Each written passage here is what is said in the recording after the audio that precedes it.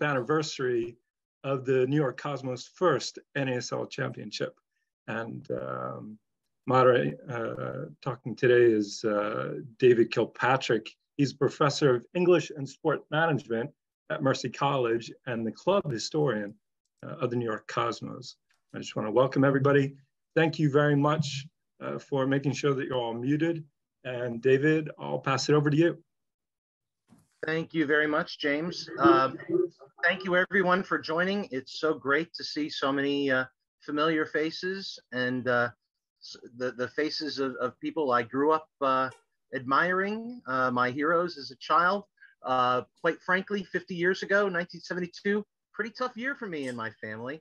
Um, but lots of lots of 1972, I just as soon forget that I can't. But um, by the time I was a Pelé lunchbox carrying Cosmos fan in 1977, playing my first uh, soccer season on a on a on a team.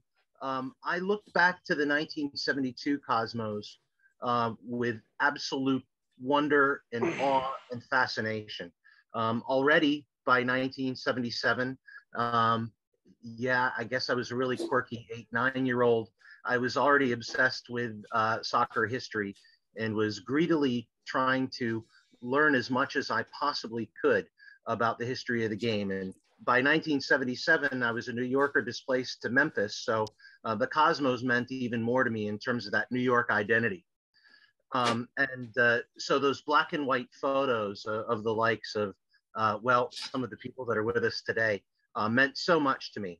Um, I was, uh, I had the good fortune to be at Penn State with Zach Bigalke, who's on here a week ago and uh, he was talking about you know definitions of of hidden history in some really interesting ways. And and uh, and it, it, to me the the history of the cosmos is very much uh, obviously one of the, the highlights of American soccer history. And SASH's of course to celebrating that that history. And so much of what we look at could be considered hidden history.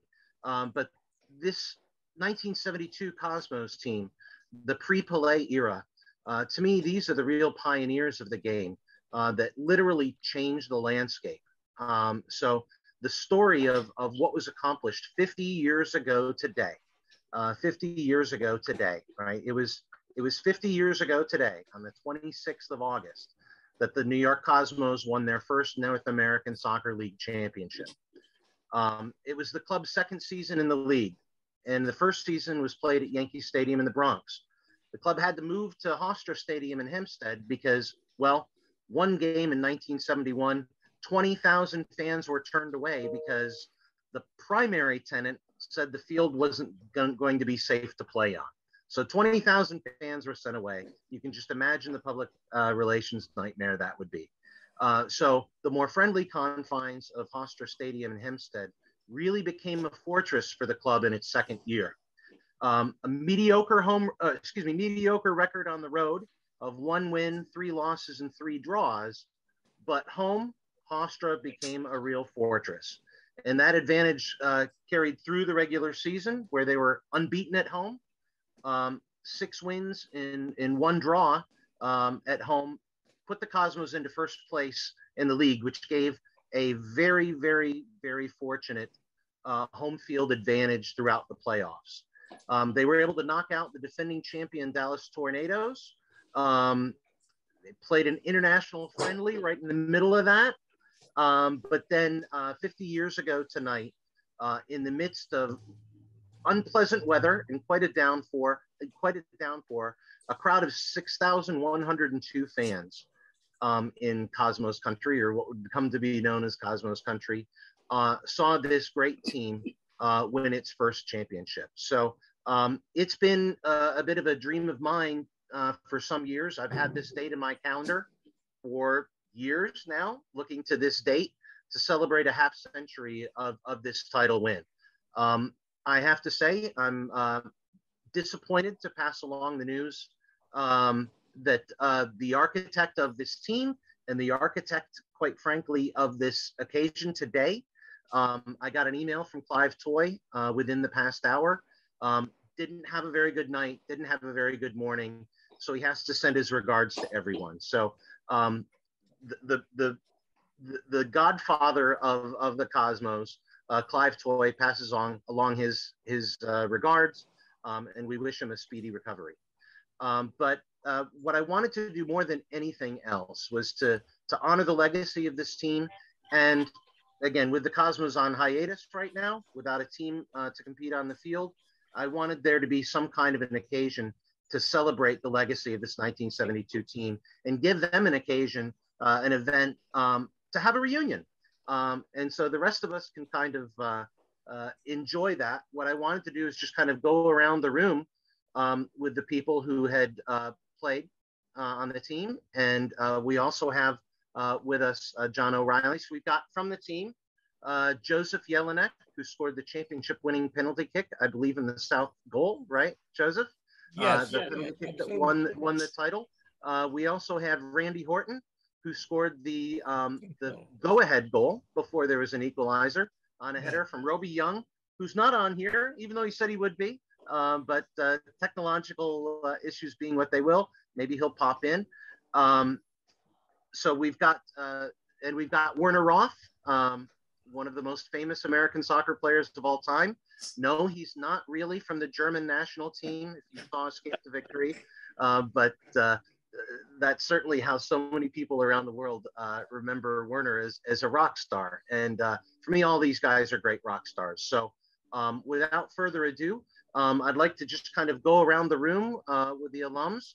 And um, if you could just tell a little bit of uh, your memories from the, the, the championship season, how you came to the Cosmos, and, and any memories you have in particular of the uh, championship game and its aftermath let's uh, let's start with uh, Randy Horton, since you scored the first goal in that game and you were the rookie of the year in the in the Cosmos first year, the year prior. Randy. Yeah, thank you. Uh, well, hello everybody, and, and certainly it's uh, uh, it's fun to be here, David. I'm, I'm, I'm glad to be here, and, and especially with these guys that, that you've drawn together, um, you know, that are on uh, with us, uh, uh Werner, um, Josef, uh, and Ruby couldn't be here, uh, and John Riley, Riley is here as well. Um, but that was a a, a great uh, 19, 1970. I remember it much because of the fact that obviously I was selected to be the most valuable player during that season, uh, and uh, the the the thing that moved me more than anything else about that was the fact that the people who chose me most valuable player were players who I played against. Uh, my teammates on didn't have a chance to vote for me. they may not have voted for me. but, uh, you know, it's great, really uh, great to know that you're respected by uh, the players that you play against. And, and I got to say that, that this team was a great bunch of guys. Uh, fun during the year. Uh, we, we worked hard and certainly uh, we deserved uh, that championship. I'll never forget the championship game because uh, Roby Young's uh, corner that um, I was able to uh, get to, get my head to, one lead uh, was close to the end when Josef uh, tucked away that penalty uh, to win it for us. I, I, I'll never forget running around the field, followed by spectators holding the tie. Uh, it was good times. And then, of course, uh, stop at Meadowbrook Inn afterwards. Who can forget that?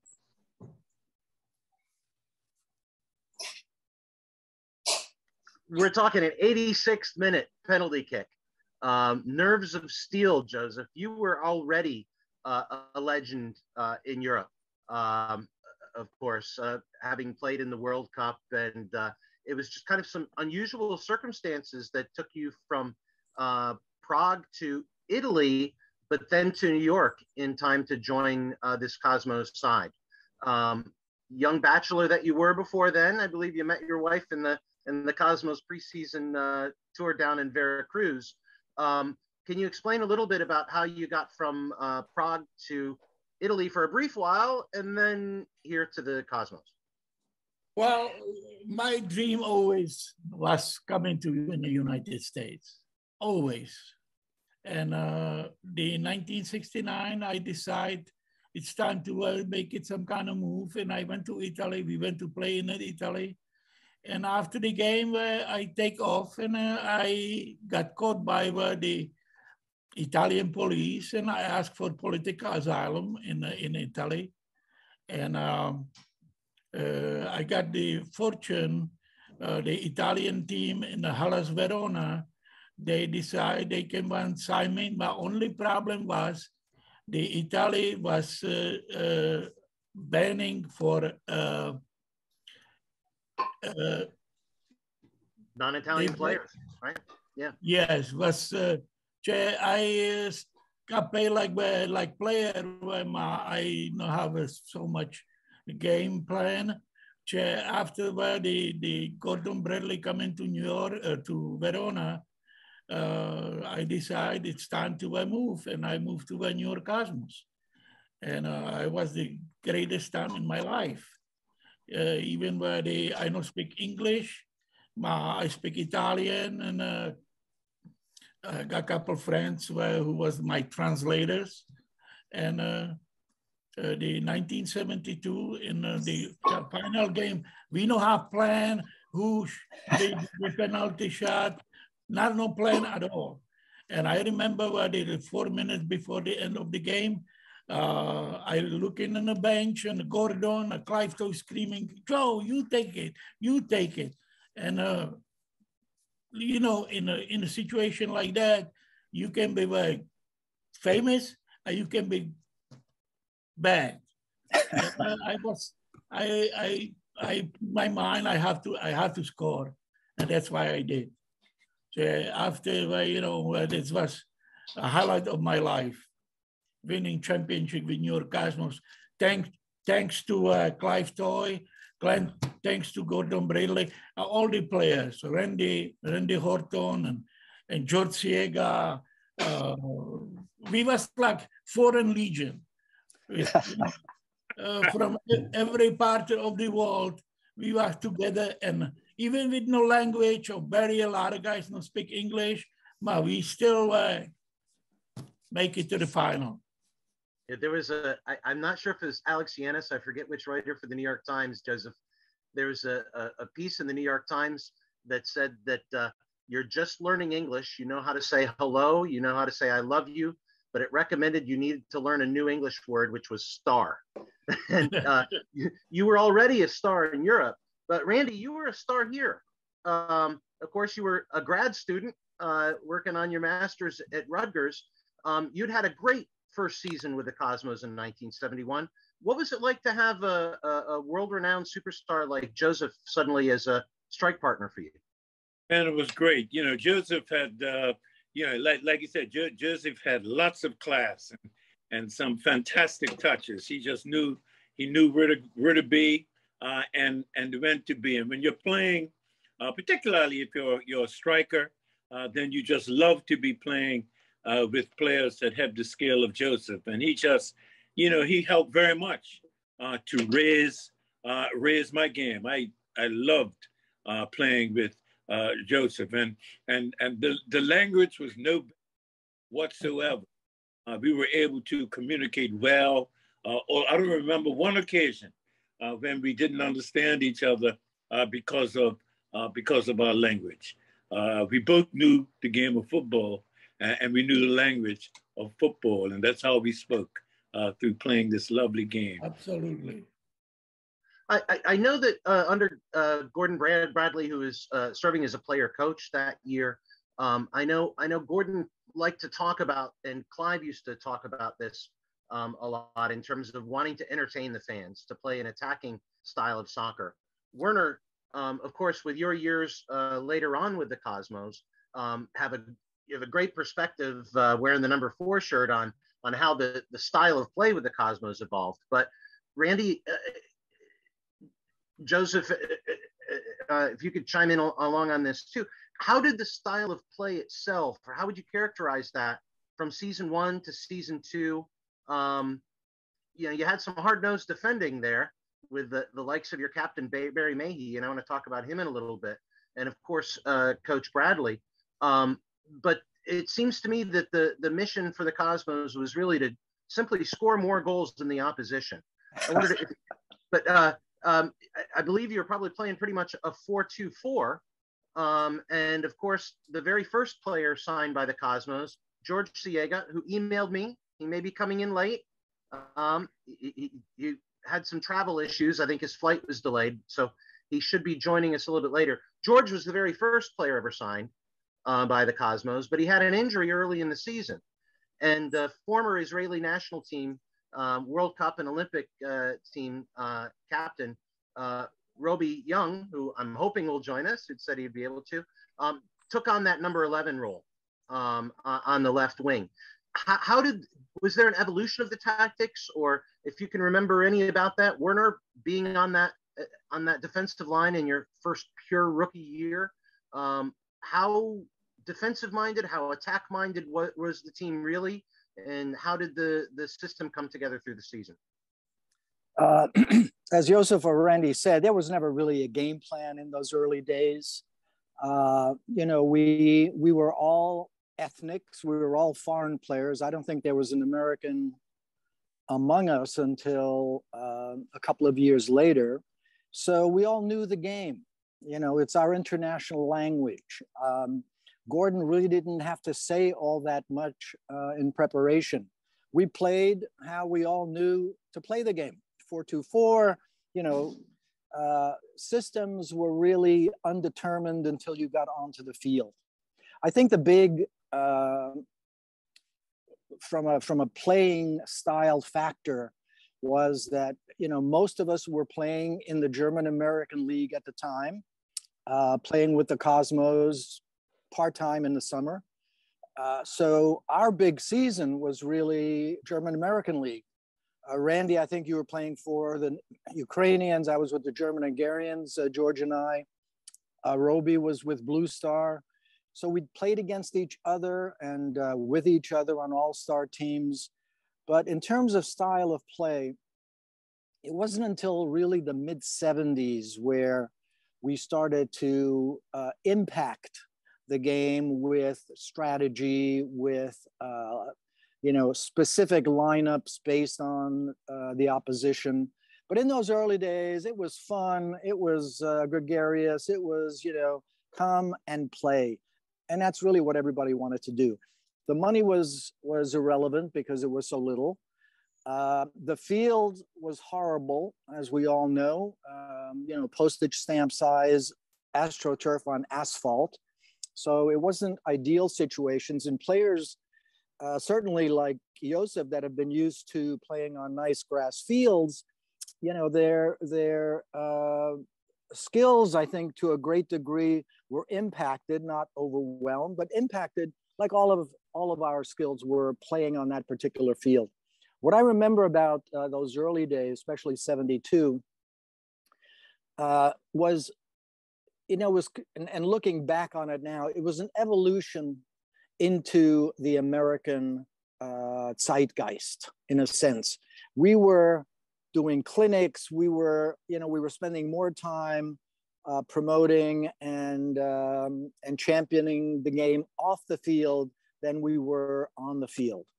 And um, I think the the essence of those early days of the Cosmos in history is that we introduced this beautiful game to the American suburbs. And kids, even, you know, I've talked to Clive about this, you know, we were we were the instigators really of girls playing the game because all our clinics, all our camps were co-ed. You know, if your feet touched the ground, you could play the game. Um, American uh, uh, parents loved the limited contact, and the constant action, you know, the, the alternatives were, you know, static baseball or bone crunching American football. You know, uh, basketball was huge, mostly in the inner cities, but it was, I think, parallel uh, to uh, soccer in terms of, you know, constant action and, you know, great for great for kids to play. Uh, the 72 championship game, I remember more specifically, for my own mistakes than for you know the the guys that won us the game. I don't remember. I remember I'm sorry, Randy. I don't remember them. Selective memory. Uh, but I got, I don't know if you guys remember, but I got um, red carded about, you know, 10 minutes, maybe eight minutes uh, before the end of the match uh, for, I think I need uh, their, I don't know, I don't remember their striker's name, but their striker uh, fouled uh, Carl uh, right back. Um, I forget his last name, and pretty badly. And, you know, my instincts were, as most of our instincts were then, retaliate now and ask questions later. So I retaliated, got red carded. So the last 10 minutes, you guys played with 10 men. I think it was tied when I got uh, red carded and, you know, just prayed, uh, you know, to the heavens that, um, that Josef would score that penalty. Uh, and then of course the big, the big celebration after, you know, chasing Randy with the trophy and uh, it was just ecstasy run amok. Uh, there were there was no security, so fans were able to come on the field. They stripped us literally naked, if you guys can remember, uh, to Gordon's horror because he had to now buy. He saw in his eyes the dollar signs, you know, and uh, people were just you know taking the shirts off our backs and um, and we just let them. So it was it was huge. It was the beginnings of something that I don't think any of us really understood at that time I think maybe Clive had that vision, uh, you know, etched in his mind about that future dream team. But at that time, we were a family, we were a garage band, you know, we were rocking and rolling, we were playing, we were getting paid a little money, we were traveling well, you know, we were getting out of Dodge every every once in a while, and uh, it was great. It was brilliant. Uh, I think it established, uh, from my personal perspective, it established the enthusiasm that I would continue to carry through uh, the rest of my career. Yeah, that that that brings up a really important uh, challenge that uh, somehow uh, John O'Reilly had to meet. Right, um, John, you had gone from working in uh, in hockey uh, to to joining the Cosmos and taking on this challenge as director of public relations. Um, did that just seem like uh, harder than climbing Everest, or Harold the Chimp, John Harold the Chimp? Harold the Chimp, getting beat, getting beat up at the press conference by the uh, trainer. Uh, I well, my let me let me tell you my journey to the team. I was uh, uh, I graduated college and wanted to be in the National Hockey League, so I started with a team called the Long Island Ducks out in Commack, Long Island, yeah. and at the time it was the lowest form of hockey on the planet Earth, but it was a start. uh, and I, I, was paid a fortune, $150 cash. So I was living pretty large. Uh, I had gotten engaged. And after a season there, I knew it was time to move on because there was no growth at that level, Eastern Hockey League. At the time, there was a new franchise in the National Hockey League, which was perfect for me, the New York Islanders. And uh, long story short, they offered me a job and a much bigger payroll. So I accepted it and uh, all ready to um, start. And they called me to renege on the job because they had moved into the New York Rangers territory. And because of politics, they had to give the job to someone from Rangers management's friend, whatever. So I lost the job just as my wedding was coming up. And uh, they said, someone's going to call you from the Cosmos. I thought Cosmos, I had no idea what the hell it was. I thought it began with a K. And um, I got back to the uh, Ducks office, Long Island Ducks office, and some lady said, "You, you got a call from a guy named somebody from soccer." So I said, "Okay, leave the message. I'll pick it up on Monday." So I got in Monday, and I said, "Where's the message?" So I ripped it up, threw it in the garbage. So I, I just, I said, I'll take a look. I found a little piece of paper like that. And it just said Toye and a phone. I called it up and then we, we met. So I went from the Islanders to the Cosmos, not even knowing what I was getting into, other than I was getting married, needed a job. Um, and then Clive, of course, was negotiating with me a salary and turned out to be $200 a, a week. I said, that's pretty large. I said, I need a little more. He goes, there's a lot of competition for this job. I said, I'll take it. Later on, he told me there's no one yet for the job. I said, So the, the 1972 season was, you know, jumped in it, uh, not knowing much about the game. Uh, saw it as an opportunity. We interestingly shared office space with, with Phil Woosnam, who was the commissioner of the NASL. So we were, you know, Clive was basically in there a lot, helping him figure out how to run the league and do many other things. Um, one of the startling things uh, in my early uh, days in the office, uh, Gordon Bradley and I shared a little office because um, I, I, realized I moved from the big time where, where the Ducks players were making, you know, 500, 400 dollars a week. I said, geez, no, they're not making much money to survive here. So I was in with Gordon and I realized he was a part-time coach. He was, he was a soccer coach or a, co- uh, a teacher at a private school. And uh, one day he had some books open. I'm walking by, we're reading in Clive's office and I look on down on the book and he's got salaries. He's got this guy at a thousand, that guy at 1500. I said, it's not bad for a week. And then later, uh, Gordon advised me that was for a season. and many of the fellows on the phone worked at KLM Airlines uh, and other jobs to survive working and being pioneers in the North American Soccer League. And I thought that was uh, beyond belief that, that people would do that to start a, start a sport. Um, and Clive, uh, you know, by the way, I got to show this picture. I have uh, the two men who were most influential in my life. I don't know if you can see that, but it's uh, Clive Toye. I'm the guy in the middle with the hair. Uh, that's Clive lighting his famous cigars and Gordon.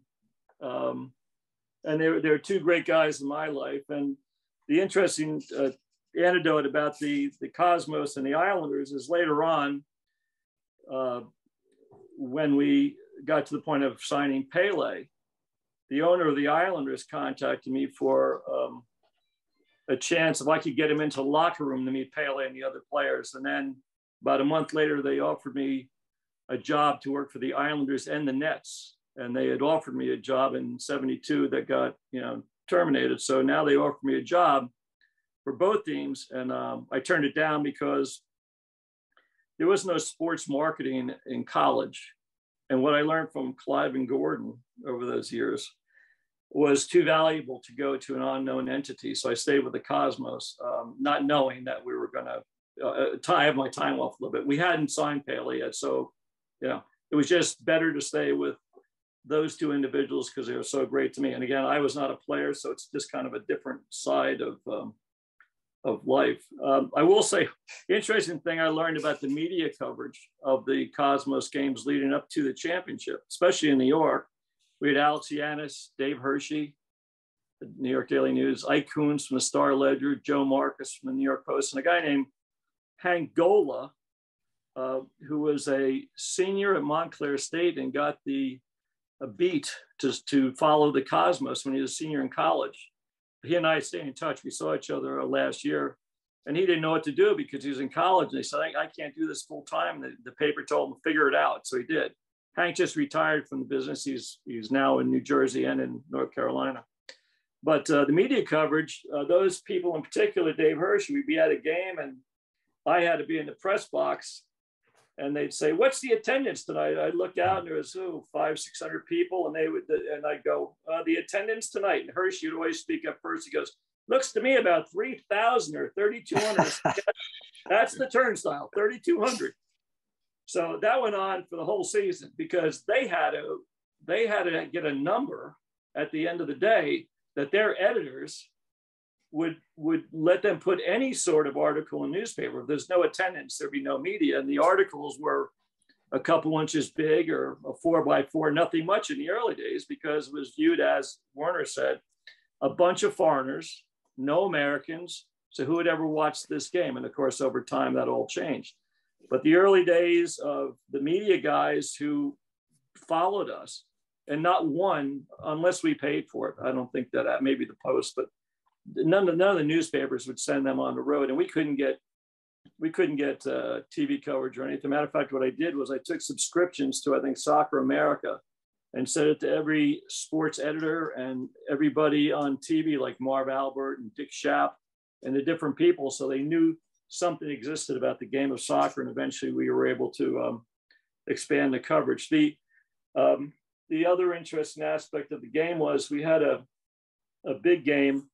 We did all these promotions, and it was it was called uh, Burger King Night or Burger King Day at at Hofstra, and we're giving out all sorts of coupons and different things to bring the crowd in. And my wife was um, expecting the baby, first baby, so anyhow, timing wise, I signed enough beforehand, so I was within the law of how long she was pregnant when I'm telling the story.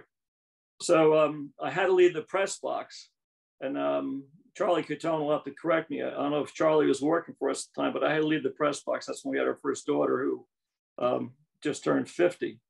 Um, so a lot happened to me in the early days. I, I, I uh, was going to be a star at the Islanders, ended up at the Cosmos, and I got the correct spelling. Uh, we went on to have a great championship season and got these rings, which championship ring, if I'm not mistaken, it costs about $150 each. Um, was Willie Mfum on the team then, Werner? Um, I think that was before Willie. I, I really no. can't can't tell. No, Willie Willie was I on. Remember. I have a. I have yes. He Willie was on this team because I also have the other championship ring the reason I say this, I hope you all appreciate it, is Willie called up one day and he and, and I knew what the cost of the ring was. So Willie um, says to me, John, um, you tell me how much gold is in that ring. I said, it's all gold. I don't want to tell him the price. I said, why? He goes, I want to have it melted down and put a cap in my tooth. I went, holy shit, I want to be there to watch this. Yeah, Willie played with you on the Ukrainians that year too, didn't he, Randy? Weren't that? You, I think uh, Willie was on the on the team that year, and he was with Randy on the Ukrainians that year, right? Again, a lot of people don't realize, you know, that why didn't the Cosmos, why didn't the NASL teams play in the Open Cups? Well, you had your player coach Gordon Bradley playing for Hota, which right, went on right. to win the Open Cup, right? So you were playing with the Ukrainians, and Willie Mfum was was on the Ukrainians with yeah. you that. Yeah, with me. It was me. I'm not sure when he was there. I was I was with the Ukrainians in '71, and then I moved uh, to uh, the Dalmatinac. Dalmatinac, yeah. Yeah. You, know, a, lot, a lot of people never people are never going to i mean there's not enough people to understand the history of, of the league and what went on in 72 but having been there when you think of the uh, the pioneers and the dedication of the players who are on the, on the call today and then people like barry Mahy and uh, Siega and um, I can't remember all the other fellows. Uh, Dieter Zadell. Dieter's Dieter, yeah, and Dieter wasn't Dieter uh, selling uh, candied nuts or something on the weekends at fairs. Yeah, that was Ziggy Stritzl. Oh, Ziggy Stritzl, not to be confused. Yeah. So we had, I mean, and everybody is working a second job. Yeah, a second job, and I thought it was really I at the time I would have to check the the year, but in the well, I was a hockey fan and a hockey player, and so in the early days of the NHL, top line players would be paid for the season, and in the off season, many or a good number had other jobs, including driving beer for the the various beer sponsors in the, in the National Hockey League. So I figured, well, this is a natural growth. Now that I realize you guys were making a thousand a week or two thousand a week as a, for a season um, but uh, I got to tell you one last story. I'll, I'll move out. But uh, I remember when we went to when Gordon Bradley passed away, we went to a memorial at, at uh, I think it was George Mason. We go down and a few of us spoke, and uh, Shep Messing was uh, the goalkeeper, and Shep was talking about um, negotiating with with Gordon mm. for a new season contract, and they're going back and forth. And Gordon was uh, straight faced and and offered an amount of money. I can't tell you what the number was. And Shep says, Well, at that amount of money, I'm not going to sign. And he goes, You know, Gordon's response, I said, No, what what Gordon say? He goes, I don't care. And he left the room. Just moved on and he's going to win with whatever he had. Anyhow, that's a few of my recollections, but it was a great time in my life and started, it started my career. And along with the players, the uh, most impactful two people probably in my business career, I'm now retired five years, were Gordon and Clive Toye. Yes. And then you, if, if, you don't mind elaborating just a little bit on on that kind of day-to-day life, uh, you were commuting all the way from Jersey, working on a graduate degree. Um, as many of you know, uh, Randy went on to have a most distinguished career in politics, becoming Speaker of the House in his in his native Bermuda. So um, I, I, should use the proper uh, nomenclature there, Randy. I apologize for the the right honorable Randy Horton. I think is still the appropriate way to refer to you. Yeah, in terms of that amazing career that you had that you were working on while you were with the Cosmos, but you also had a number of jobs connected to the Warner Empire, which right. even had studio Led Zeppelin, right? Could you talk just a little bit about your day to day? But no, that was um, actually that was fun as well. You know, um, and the first year I was uh, I worked at Atlantic Atlantic Recording, worked in the business at Atlantic Recording, and of course I had a great opportunity uh, to be able to go into recording sessions with Led Zeppelin and Roberta Flack. Uh, it was it was big fun uh, going in and seeing these guys, and then of course getting all of the uh, the albums, all the jazz. I love jazz, uh, so I got just about every jazz album uh, that Atlantic put out without having to pay for it.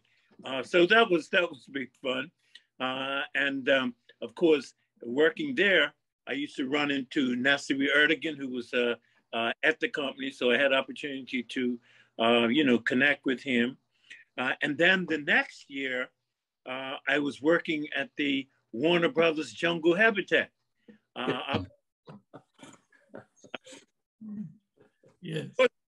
Yeah. Could you tell for everybody that, that doesn't remember, you know, that um, this was even pre-Action Park era, right? So um, could you tell us where the habitat was and just how you would have commuted to training and, and how you would fit that all together? Yeah, that's right. It was it was uh, way out in West Milford, New Jersey, which was a goodness. It was almost an hour drive from uh, from New York. And, and, you know, the thing about it was that, you know, I was doing that in days before I had my car. Uh, and I didn't get a car. The Cosmos bought me a car. I think it was in 72. Uh, they bought me a car. Uh, but before then, I used to uh, I used to bus to New Jersey. I'll never get the first year in '71. I used to bus from my home in New Jersey uh, to um, uh, downtown, and then take take the subway up to Yankee Stadium, and walk to the game with the spectators, you know. and, and, then on my way back, of course, I always had a ride with one of the uh, one of the other players. Uh, but um, that was an interesting aspect. And then, of course, in '72, uh, the Cosmos bought me a car. So then I, man, I was living luxury. I was I was able to I was able to drive from New Jersey uh, out train. Um, you know so it's it's it, it's all been great fun you know and i enjoyed uh experience of addition to the great experience of of, of playing uh, but also at those companies at um uh, first atlantic recording uh, and then uh, at the warner brothers uh, jungle habitat but to go back to what werner was talking about you know the impact that that we had on young people and and i remember too big going into speaking students. And once I remember going to a high school uh, where I was there with Phil Rizzuto from the Yankees and Mike Siani. Mike Siani had just been, uh, I think, drafted by the uh, a team in Los Angeles. I think it was San Francisco 49ers. Uh, he was a wide receiver. And we went to talk to uh, young people. and then we were, you know, we were, I was given the same attention as Phil Rizzuto and Mike Siani out there. So it was, you know, it was a big time. But more importantly, uh, we were impacting on uh, on the young people. We've got a lot of really great questions that have popped in in the chat, and I'm sure there's a lot more uh, people would like to ask. Um, before we do that, though, I um, wanted to share with you some some images. Uh, a couple years ago, we we lost um, the captain, the great captain of the 1972 uh, championship team, uh, Barry Mahy, who, along with Gordon Bradley, was on the New York Generals. Um, and uh, I, I, got to know uh, Barry um, thanks to the, the kind of reboot uh, in 2013. Uh, he and I share the same favorite beverage. I can't look at a can of Heineken now without thinking of him. Um, I, I, should uh, should avoid the product placement, but I, I, I think of uh, Barry every time I take a sip of Heineken now. Um, but his daughters, Stephanie and Kelly, uh, are with us right now. I want to say hello to them. A special shout out to the the wonderful Mahy family. Um, Have always made me feel so very welcome.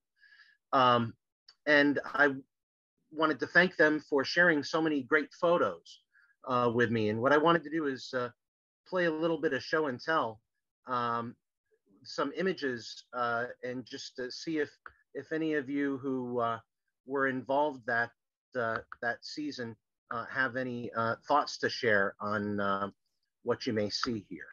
So. Um, well, the first with, thing is a brochure that I put together with a ad agency with Gordon Bradley on the front cover. Yeah, yeah. There's our player coach Gordon Bradley. Yeah, uh, true. Really cool graphic. Yep. Here's uh, profiles of the team. You can see uh, Joseph didn't even get to have his photo in there, uh, a late edition, signing with the Cosmos on the 14th of March. Right, just as the season was about to start. Same with Roby, uh, a late edition. Um, he, he, George Siega, you know, the first ever Cosmos, uh, played out on the, the left wing. Uh, when he was injured, Roby um, took over in that spot. Um, but uh, you know, photos for Roby uh, and Joseph and uh, goalkeeper uh, Dick Blackmore, um, not even not even pictured yet in those profiles. Uh, Bobby Neubauer passed away a few years ago. He got to go to a game um, before he passed away, and and his son is a really important, valued member of the um, thriving uh, Cosmos fan groups. Um, so here's an image of the captain that I think in many ways uh, encapsulates uh, how tough he was, hard as nails. Yeah. Any any thoughts on the captain, Barry Mahy? Yeah, Barry was like you know, like you said, Barry was hard as nails. Uh, he was a tough, tough, tough uh, right back and a really tough class uh, defender. He he he took no prison. I mean, he was he was serious, uh, serious about uh, about defending for sure. Yeah, he had no he had no thought in mind about uh, losing Barry. I remember that. Could you say that again, John? I'm sorry. Yeah, Barry. You know, I get to speak to all the players because in those days is what we all did, and Barry would never take any game approach other than winning. He never thought about losing. He would go. That picture says it all.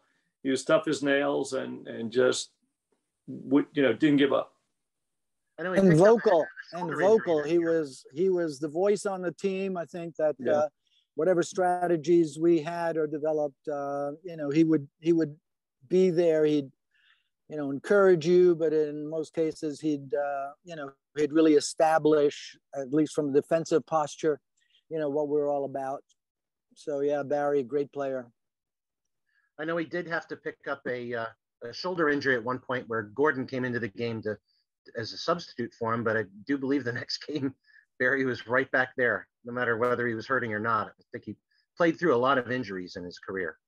Um, Randy, there's a, a, picture of you getting stuck in, and uh, I believe in the championship.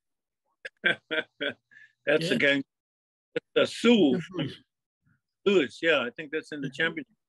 Yeah, against St. Louis, St. Louis. Yes. Stars You can't really see the rain there. Maybe you can pick out that it's raining in that image, but that's that's that's the match 50 years ago today. Uh, I, I also remember back to Randy a second. I remember um, me. Getting to know some of the other players. So early in the game, as I as I learned much about the sport, Randy um, had a good tan, um, and he had a big ass afro a lot of the smaller players just were scared to death of him. And the question was, is he as mean as he looks? I said, yes. He's still just as mean. Yes. Joseph, there you are with Randy. Classy, uh, classy. There you are, Werner. Yes. Good shots. Good yeah. shots. Flying Roth, flying Roth yeah. Yes, sir. Joseph, there you are again. Lovely shot. Wow. Some action in front of the goal. That's Johnny Perry, Johnny Perry and Barry Mahy. Yeah, yeah. Barry. There's uh, Werner over there uh, in line with the goal post. What can you tell us about Richie Blackmore as a goalkeeper? Came from Birmingham City. Yes. Richie was Richie was one of the first. Um, I mean, along with Josef, but one of the one of the first um, players that was re really just imported for the season. I think at that time. Um, but it was the beginning of you know Clive's formula for getting the best international players you can afford and putting them together with the best local players um, uh, you could afford. But I think he was instrumental, certainly from a defensive posture in uh, that season, in us winning the championship that season. Uh, and then he was gone. Then I don't think he was there for the 73 season at all. There's Roby Young, who I, I was hoping would join us, but hasn't been able to. Filled in for George Siega on the left wing and uh, took the corner kick that uh, landed on Randy's head for the first goal in the championship match. Yeah. Randall's Again, another experienced veteran, having been the captain of the Israeli World Cup and national and uh, Olympic teams. And Roby too was a very good, very good winger and, and great passer of the ball. Um, crosses were, you know, and playing uh, striker like I was, I, I love to play with players uh, who cross the ball well, and of course Roby, and then of course before him, of course, uh, there was George Siega, and I could judge George. So many, many uh, of my headers in particular came from uh, by George Siega, and then also from Roby. Well, George had that great move, Randy. You remember, right? Yeah. Oh yeah. Fake right, go left, quick, uh, quick, beat quick. every defender, go to the touch line, and look for Randy in the middle. Right, and I would be there for him. Now the the the NASL trophy wasn't the first one won by the club technically. Here we see Barry Mahy being given the Governor's Cup, right? Um, again, thanks to, to the Mahy family for this photo. Um, if you if you focus in real close, you can actually see that the Governor's Cup is printed there. I think in some books they mistakenly uh, call that the NASL trophy. Um, the Governor's Cup, of course, was a competition uh, that uh, Governor Rockefeller had started, right?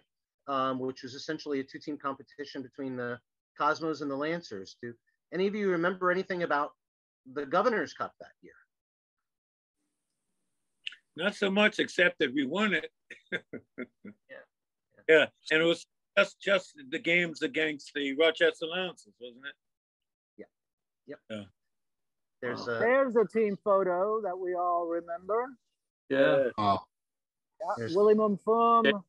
Steve Ross. Kerr with the champagne. Yeah. Everald Cummings, Gordon with uh, that winning laughter of his, Clive, Steve, Jay. Yeah, those were the days. Ziggy down in the corner. Yeah. Yeah. Here's another image with that trophy. Here's the team with with the full uh, allotment of trophies, and here's a more formal uh, team photo. John, having John. a little bubble. Yeah. yeah, he's always helping with the uh, booze. Yeah. John, what the good stuff from Warner Communications. Wow. Right? More, more anti you see George Siega uh, with the crutches, right? right. He's still yeah. injured there, uh, but he's in the locker room with crutches on behind there. Look at the shape of that locker room we have. Werner, a little different than what you had at Giant Stadium a few years later, right? Yeah, just a tad, but you know, still a big step above what we had at the German American League and you know at the ethnic level. So you know, this was all a step up, certainly for me, and I think a lot of the players that uh, you know were playing semi-pro and really didn't have that uh, breadth of experience in the pros. Yeah, this was the beginning. And Yankee Stadium in 1971, as it was about to be refurbished, probably wasn't palatial in your opening year either, right? Um, Randy, no, no, no. And the, the, the thing about Yankee Stadium too uh, was the fact that because it was such a huge uh, stadium, and then when we were playing in front of, uh, you know, a couple of thousand uh, fans, uh, it just the, the the atmosphere was not um, uh, not very good at all in in Yankee Stadium. I didn't enjoy, even though that year I I still I came out as the second leading scorer, leading scorer on the Cosmos, uh, but I enjoyed anywhere near uh, like I did once we went over to Hofstra. There's some more in the locker room. There's Roby Young, and there's the NASL trophy. Yes. You see the difference between the trophy. There's Barry Mahy, uh, the the team captain, holding the league trophy there. Uh, and of course, a few days later, um, John, you may want to talk about this, or everybody, right? Um, Joseph alluded to uh, his journey to New York and the the Cold War that was going on, right? The Russians are coming. The Russians are coming. Well, the Russians came. They almost didn't though because uh, they had a protest through UEFA. Uh, Rangers fans had swamped the field in the uh, UEFA Cup final, uh, winning 3-2 and ending the game a little early. So Dynamo Moscow had wanted the final replayed um, and lost that petition and had to keep their. Uh, so this is a game that almost didn't happen.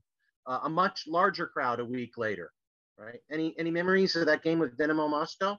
I know the State Department had to really intervene on behalf of the club. Uh, any of you any thoughts on that? Or John, do you remember anything about the State Department having to help out getting Dynamo Moscow to Hofstra?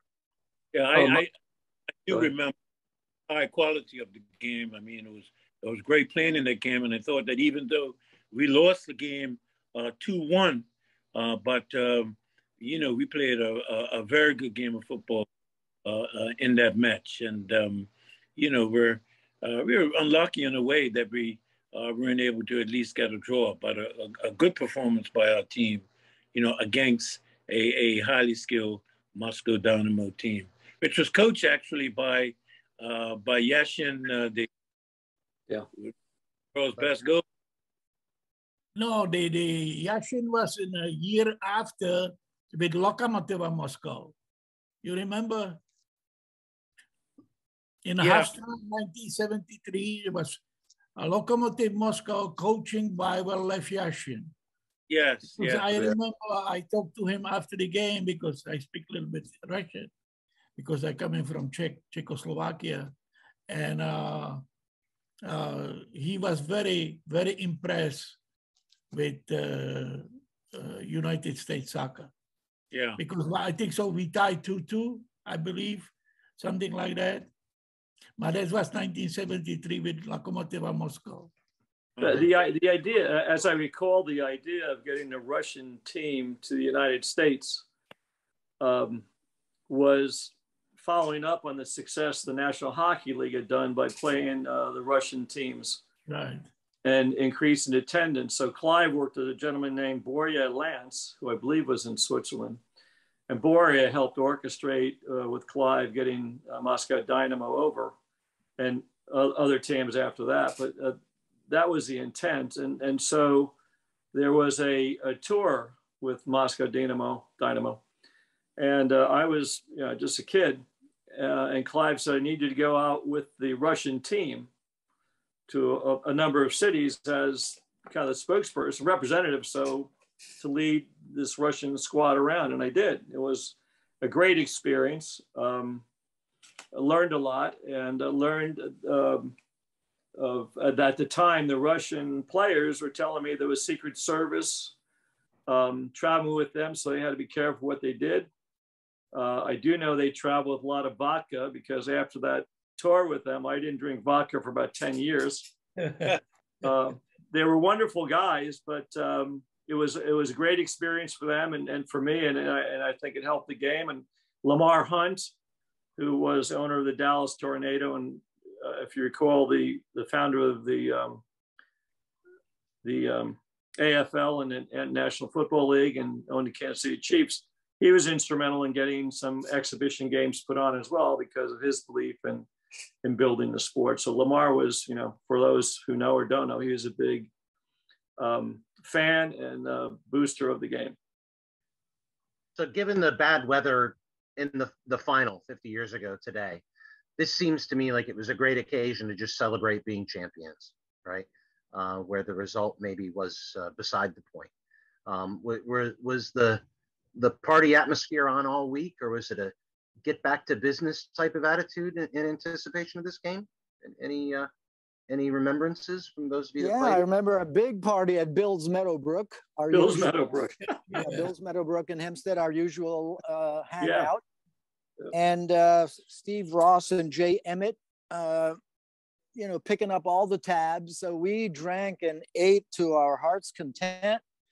Uh, probably closed the place down as usual. And, um, you know, the next day we moved on. Yep, that's it. Uh, there's the trophy hall from the uh, original NASL. And you can see on the left the 1972 trophy that the club kept, right? The, the trophy that you saw Barry lifting there um, when Barry's wearing the yellow shirt, not the governor's cup, but the, the league trophy. I'm not entirely sure where that is right now. I, I've heard a few different rumors where it is, but uh, again, when we talk about hidden history or lost. Check uh, Pepe Pinton. Yeah, I don't. Check Pepe Pinton's basement. Yeah, this was the this was our office we had in, in Soho on uh, Green Street. Is that when is that when the NASL trophy was uh, stolen and mysteriously disappeared after the '77 championship? Yeah, the, you know, with the then there was the, the soccer ball trophy, but then um, that original NASL trophy that like so it the trophy on the left there, the smallest of them, right? That's the trophy that the club got to keep in '72. Right. The league trophy went on, but yeah, John, I I don't know I don't know what happened to that uh, league trophy. Um, so um, lots of great questions in the uh, chat room. Um, I want to take a look here. Um, William Goff has a question about the economics. John, you already talked about what you were paid, and you kind of alluded to uh, player wages there. Um, and you showed the ring a little bit, right? Um, uh, so um, I think that was answered. Do any of you remember or care to share what what you were paid that year, or uh, how tough it might have been? Joseph, did were you set up with another job here? Or? No, no, no. I I got a contract with uh, Cosmos for four months for eight thousand dollars. What? uh, because I come in, I come in with uh, two other players. I come in with Cinesinho, who play for Juventus Italy, and I come in con, con son of Helenio Herrera, yeah. which was the ma mago of the uh, European soccer, Spanish soccer. He was coached that time with Inter Milan.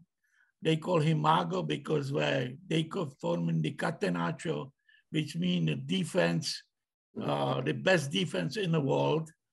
And uh, I come in with his son, which has same contract like me.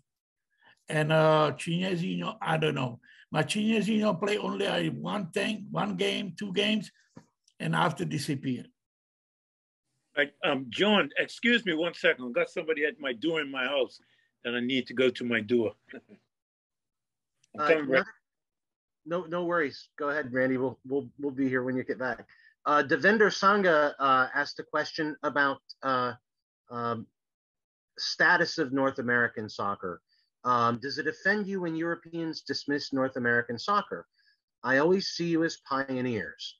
Over here, we are blessed that soccer has no competition in huge history, whereas in the States, you have to compete against all the other sports there. Um, the marketing and promotion was ahead of its time uh, indeed, a, a, credit to John. Any any thoughts on on uh, do you ever get defensive about uh, American soccer history the way uh, some of us soccer historians do? I don't. Uh, I think I understand the temperament and uh, certainly in some cases share it. but America is a different animal from um, the international game. It makes its own rules. You know, it it uh, has to compete against all these other games. It it's not the historical uh, centerpiece of everybody's life that it is in the rest of the world. So I certainly understand from a enthusiasm standpoint, from a recognition of, you know, the quality, from um, the competitive standpoint, and even to this day, you know, the fact that uh, U.S. pro soccer doesn't have promotion and relegation, uh, you know, it's a black eye on our game, on our American pro game, um, I think unnecessarily um, um, uh, gotten, but um, I think I understand and, and appreciate uh, the, the negative attitudes as well as in some cases the positive attitudes.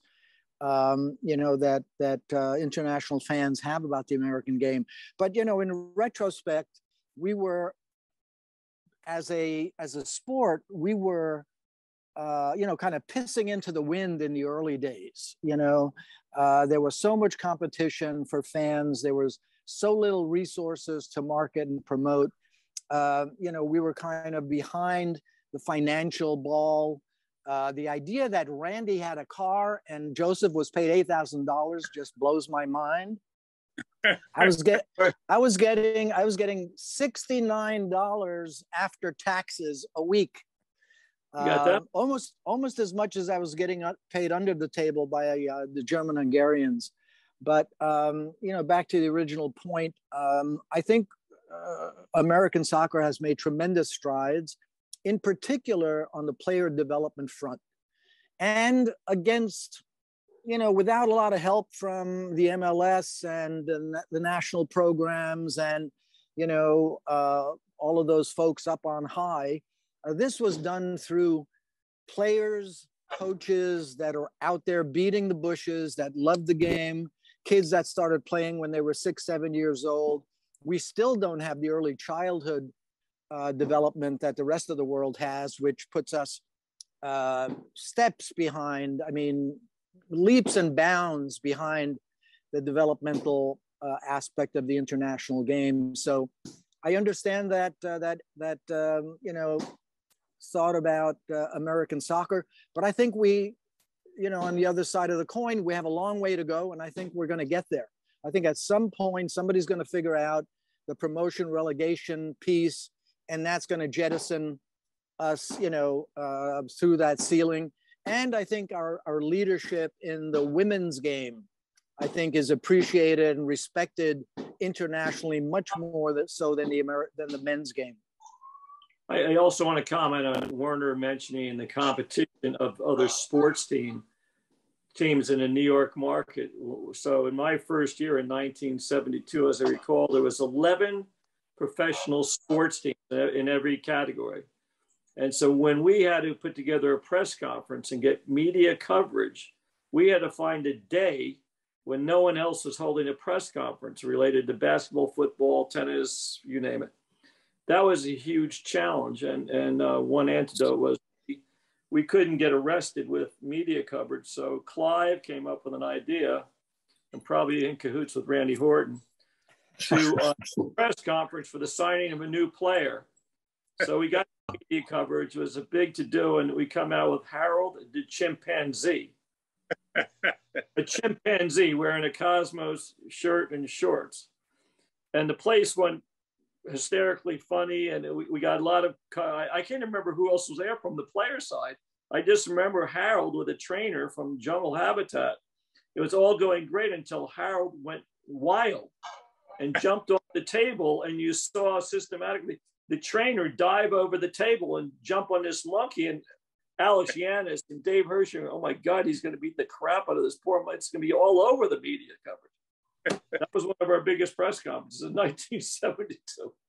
Yeah, I was there. I attended that press conference, John, and uh, um, I remember Harold, upon his introduction, started pissing all over the table, and you know, as his opinion of what this was all about, pissing everywhere, and the trainer uh, retaliated, you know, really harsh but it was because Harold was pissing all over the place.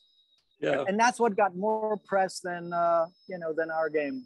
And we did it at the upscale Warwick Hotel, which was out of our budget, but we did it there nonetheless. Uh, the place went bananas, right? Yeah. Oh yeah. Uh, sorry, I couldn't help myself with that. Uh, Josef, just a follow-up question uh, from Koichi Shirayan. Um, how did the you you said you had the the lavish salary of 8000 for the season. How did that compare to what you were paid in Czechoslovakia? Um, oh, no, no in comparison. Uh, Czechoslovakia, you was, uh, you was uh, amateur practically. you know what's uh, like pay. They they you have uh, uh, bonuses by game, but no salary. Where like you have job, but you never to go to work. You have job. The company pay you. You play soccer, and they give you bonuses. You win, you have 300 coronas. You lose, you don't have nothing. Well, I think that's another thing with American soccer history. A lot of people forget, and uh, you know, even you know, Walter Barr told me that uh, Busby offered him a spot on Manchester United, but he couldn't go over there and play for Manchester United because he was making more money living here in the states, uh, putting together a living. Absolutely. Soccer and, and teaching phys ed. So, um, so even in Europe in those times, right? Uh, it's not like uh, American soccer was a, a, step down in terms of salary for a lot of people. Um, Marcus Cranston has a question. Um, uh, started following the NASL in the late 70s as a kid in a small farm town, uh, but he got to meet Siggy Stritzl and Henry McCully. Um, asked, Were you all on single season contracts? And um, after winning the championship, how did negotiations go and were other teams contacting you to try to steal you away? I had, I had after um, uh, after we won the championship in uh, uh, '72, I was off, offered a contract with uh, the um, uh, Queens Park Rangers in the uh, second division. They were in the second division in the United Kingdom, and they were um, uh, getting ready. In fact, they came up the next season. They came up to the first division. Rodney Marsh, in fact, was uh, mm. uh, at the time, uh, but I I turned it down because I wanted to, um, you know, complete my my studies. Uh, uh, plus, the thing is, the money wasn't great, so I thought staying in New York. That's what were you a Tottenham fan yet then, Randy? Was that a factor or did that come later? Uh, no, no, I, no, I was, I was already a Tottenham fan. I've been a Tottenham fan since 1963. Yeah. So if it was North London, maybe, but West London, no thanks. Yeah. Um, another question from Michael Lewis. Um, Michael, uh, if you're there, I'll let you go ahead and, and ask the question for Josef. You put in the chat. Mike, are you still with us? Yes, I am. Can you hear me? Yes. Uh, yeah, uh, Joe, how yeah. you doing? Josef, how you doing? Um, yeah, I asked a very simple question uh, in the, writing it down, but you know, you played in the greatest tournament in the world in 1962, the World Cup, and I know the World Cup has changed dramatically since then. What was it like? Uh, this is a multi-layered question what was it like playing in the World Cup at that time? How big a deal was it? Um, and the fact that Czechoslovakia reached the final, finished second, had to be a big deal back home. How were you and your teammates received? Well, um, and thanks for putting up with my question. Yeah, I listen. For for me, I was 17 years old, and uh, for me, it was a big deal for everybody we coming from a communist country. We got the, the, the, the decent team. We got uh, Masopust, uh, we have Popluhar, uh, we have Schrojf, and we come into the final really uh, because we're in a in a the the the uh, groups. We tie zero zero with Brazil, and after we we come into the final, and we winning one nothing against were one of the best Brazilian team in ever with Djalma Santos, Nilton Santos, Zagallo, uh, uh, Vava, Pelé, Didi, unbelievable team. Uh, we lost 3-1 in the second half. They scored by Zagallo and uh, Amarildo scored two goals. Uh, we lost 3-1. And when we come into the home, of course, we have a huge, huge, ma we don't have no big deal for the premium. We do it for country. We play for country. We don't play for money. We play for country. Like like Russia, like uh, it's it's no value of the what we did for A was we play for country. I have a quick follow-up question. Did you get any monetary compensation at all? It We- doesn't sound like you did, but Yeah, we, we got uh, probably like 20,000 coronas that time. It's not as big by monetary gain. It was like 20, 30,000 uh, coronas that time. Probably one year salary of people were who working all year. We got year salary. Thank you. Devender, did you want to ask the, the question, the second question you put in chat? Are you available to speak? Or should I ask the question for you, Devender? Yeah, can you hear me okay? Yes. Yeah, hi guys. Um, it's fascinating listening to you all. I mean, you're all legends. I'm. It's it's sort of a, a real honor to be here. Um, but um, it's more about racism, really. Obviously, Britain um, in the seventies um, football there was horrendous racism, and it's probably got better over time. I mean, it's far better now than it ever has been, possibly post nineteen ninety. Um, did anything like that occur in the NASL in the early seventies, especially the seventy two season? I, as a as a player, uh, I I didn't um, any this calls. I certainly didn't notice it uh, anyway um, uh, while I was uh, while I was playing. So that didn't uh, impact me uh, uh, at all during during the time that I was um, was obviously there was the odd there was the odd person screaming out to me negatively, but it wasn't uh, necessarily racist. I Yeah, I, recall. I'd, hoped, I'd hoped Everald Cummings was going to join us. You know, he he played for the Atlanta Chiefs um, before before joining here, and coming from Trinidad, he had a uh, you know he he got to know uh, the Reverend Dr. Martin Luther King Jr. as he was playing there in Atlanta, um, and so I think a lot of that, you know, from the experiences of, of players all around the country, it would it would depend upon what club you were with and where you were playing, too, right? Uh, so he, when he, I know when Everald came to Atlanta, suddenly he was facing uh, a, degree of segregation and racism that um, was unaccustomed to him. Uh, but it, it's it's an element of, of the sport at the time that we don't put enough attention to. Uh, anybody else wanted to say something about? Yeah, I, yeah, I did want to say say- something. Go ahead, John. Go ahead, John. Okay, I, mine's simple. I, I be, being the PR guy at the time and not a player, and just trying to get my arms around the game. Uh, I was fortunate enough to meet so many of the other players um, on, on various teams, and um, I'm sensitive to the question. Um, and I can say from my experience, there was nothing that was racist going on. The as I alluded to a little, being funny about it, the only question about Randy was the, the, the people were scared because he's a tall guy and he had a big a- afro. And, uh, you know, that made him almost twice the size of some of the smaller guys. So he was the striker. Um, he was an imposing figure, but I can say without, without question, I never heard a racist comment about him or anybody.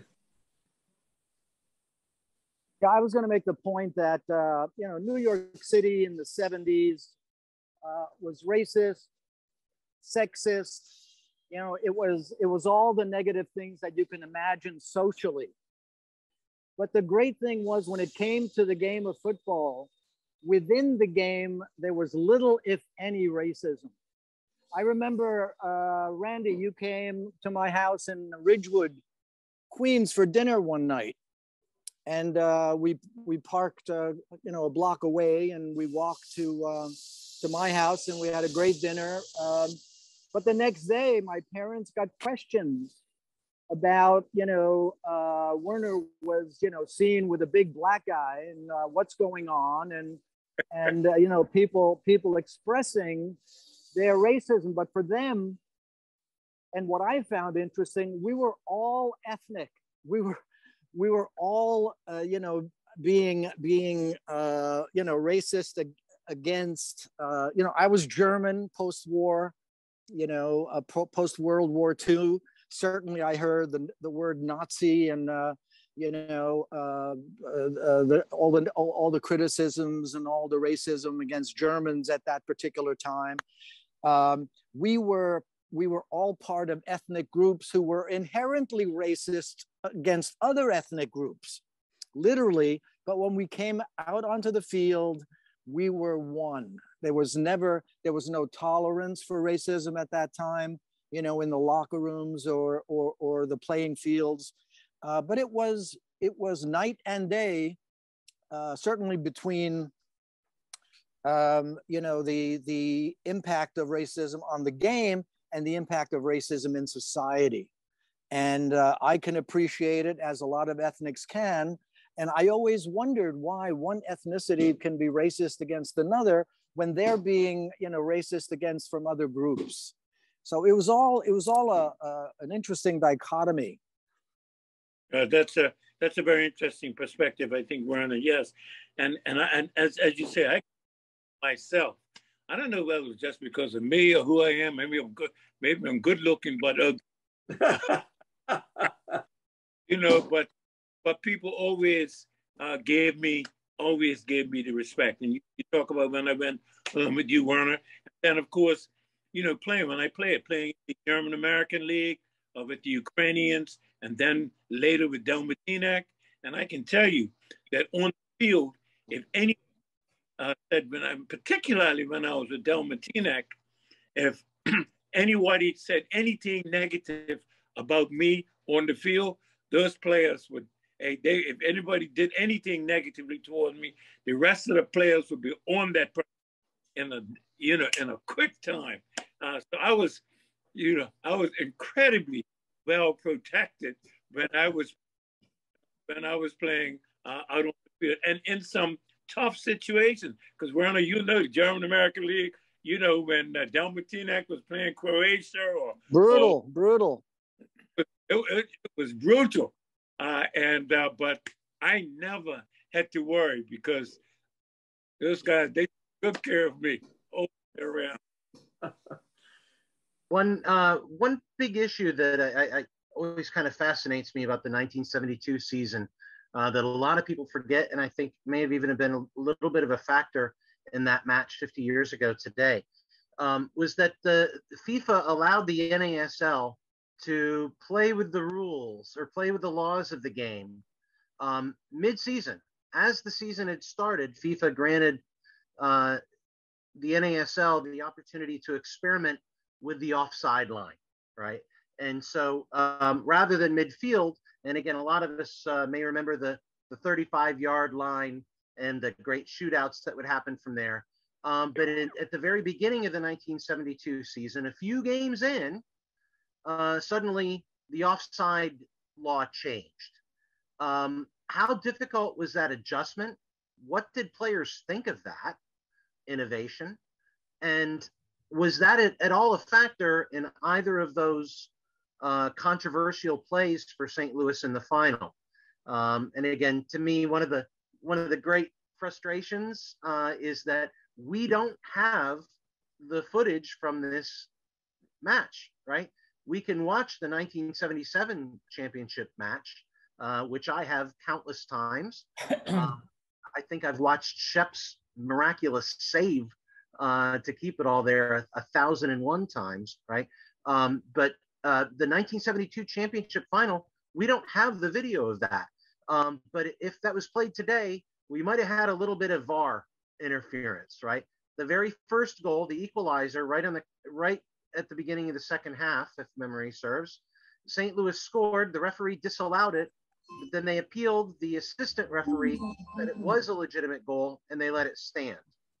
Um, and then red carded Werner off the pitch St. Louis thought they scored, but that was taken away. Um, any memories about either one of those controversial calls in the final, or any memories of, about having to adapt to a new offside law, especially you, Werner, as a defender? I don't. I don't recall having any difficulty uh, adapting to any of the uh, um, changes of rules. I'm not so sure it was done with FIFA's, uh, you know, overriding support. I think um, you know the NASL was was on a on a path of Americanizing the game, of making it more interesting and more entertaining. uh, you know, the laws of the game as originally constituted by FIFA were not etched in stone as far as uh, our league was concerned. I'm not even sure if at that time we were a legitimate member of FIFA. Uh, we probably were, but I don't think it mattered. I think we played by our rules. We played by, uh, you know, what we felt was was uh, in the best interests of the game uh, in America. Uh, and certainly 35 yard line opened up the game uh, substantially for more passing, for more attacking play. Defensively, it was a little more challenging because uh, uh, defensively, you always use that halfway line as a as a kind of a stopgap uh, for for many attacks, and you know we used offside defensively constantly. Um, you know um, when we could. Uh, the 35 yard like the shootout as opposed to the penalty kick everybody loved including the players that took them um, so I, I, think FIFA kind of came around, and certainly, you know, history proves us to have been correct to some degree. Although halfway line is still etched in stone um, as uh, as the offside line. But you know, now we have uh, three uh, substitutes, which initially there were only two. Uh, you know, we have numbers for every player that originally were not, uh, you know, part of the the FIFA laws of the game. There it was 1 to 11. And if you substituted a player, that player would have to take the number and the shirt, sweaty shirt of the player that they replaced. Uh, so I think, you know, we, we played with the rules. We initiated a lot of interesting developments in the game that ultimately proved to be correct. Yeah, me, you as strikers, uh, uh, did, yeah. did did the goal help you, or did the uh, did the change to the offside law come oh, across oh, you, as a big opportunity to you?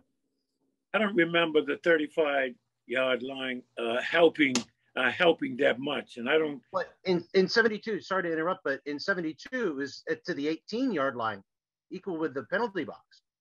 At the 18 yard line, not not all the way 30 yards, uh, and so. Um, but I don't remember it impacting on the way I played uh, that much. Although, of course, obviously, if um, offside line is up that high, it means you play higher, uh, higher up the pitch. Uh, but um, I don't uh, remember it uh, having effect on how well I played in in the games that I played. But but certainly. Um, you know, I like the way I like the halfway line actually because it, it makes uh, uh, it makes defenders work. Uh, you know, also it makes defenders work harder.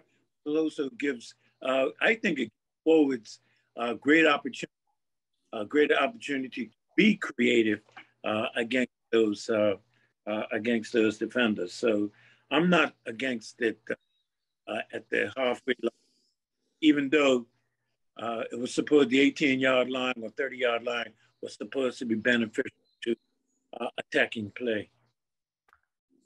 Josef, do you do you remember that law change? And no, I listen. I come in in the field, and uh, I don't remember nothing of the. Uh, I remember when they changed uh, the penalty shots, which I never liked that. Um, you know, I know I can I can uh, I can say nothing about it, the rules. But what they do, they do. A soccer player is soccer player. They go play and they do the best can they can. And do, do any of you remember that uh, final controversy when St. Louis thought they had equalized, but uh, the referees waved it off? Yeah, controversial calls in the game. Great, um, because I, I wouldn't have been um, been close to the situation. Maybe had been a corner corner kick. So I don't I don't I don't remember it. Uh, I don't, oh. No. Werner, I don't even remember Werner now that I'm talking about it. You know, as was said that you were sent off, I'm now thinking that gee, he was he was sent off. He played the last the last few minutes of yeah, me too. Willie, Willie Roy scored for them with thir- 13, 18 seconds left, like the last minute.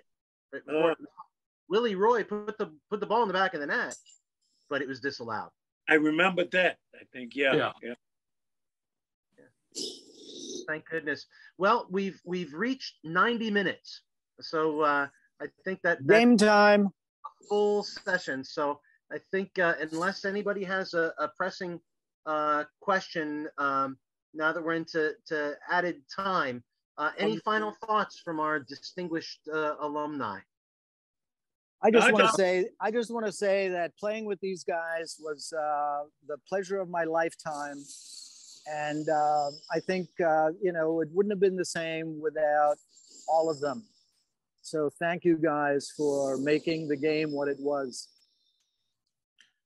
And, and I'd like, like to add what Werner said to it. I tell you that I really loved uh, playing uh, with the guys every year. Four years uh, with the Cosmos, and I can certainly say uh, that I really, really enjoyed, made some great friendships. We stay in touch uh, over and over. Werner, for instance, I mean, I'm in contact with Werner uh, a lot. He's even been to my house. Um, visited Bermuda uh, when I celebrated my 60th birthday, and I won't tell you who that was because I make myself too old. but it's just been it was it was great fun um, um, with the guys. There was hey no money in it, like like you said at the time, uh, little money in it, great enjoyment, and also the fact that we knew that we had started. Now we see uh, has come to a fruition. And thank all the guys, uh, Werner and um, Josef, who are here today. Of course, John, who works in the office, uh, doing a great job. Uh, to to everybody who's involved with the Cosmos, I'm thankful uh, because Well, it's it, it, it's my it, it uh, from my perspective, it spilled over in the front office. Me being a, a you know young kid and seeing what the players did and how they unified on the field and the uh, desire to win and all that Gordon and Clive did. It was for me what I couldn't get in college. For my goal was sports marketing and be in the National Hockey League, but after a season in the NASL in 1972, I knew my destiny was with the Cosmos and staying there. But it was a building block on my career, uh, right to um, when I retired five years ago. So thank you all. And uh, me, what I want to say is uh, I like to uh, thanks to Clive Toye, uh, all the Cosmos organi- organization, because they build the foundation of American soccer. And uh, listen, uh, we everybody get involved. Yeah, Bernard, what you want to say?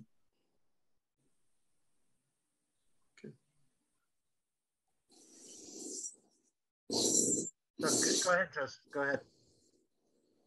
Oh, and I, I like to uh, really uh, Clive Toye's and Gordon Bradley and John were here.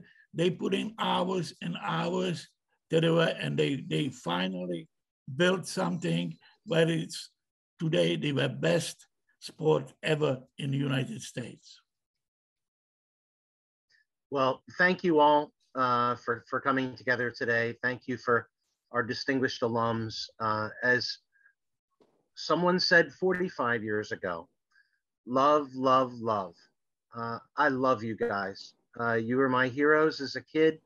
Um, it's just the greatest honor my to, to, to, to call you friends, to consider you uh, friends. Um, always so considerate, always so caring.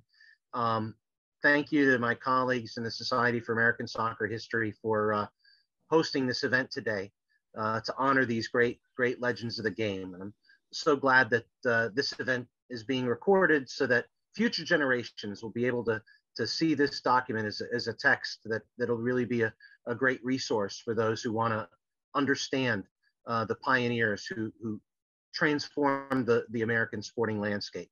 So um, I have to say, the first time I went to the Mahy home, I thought I'd bonded with uh, Captain Barry uh, over my uh, favorite beverage. I didn't realize that he was getting it for free from KLM all those years.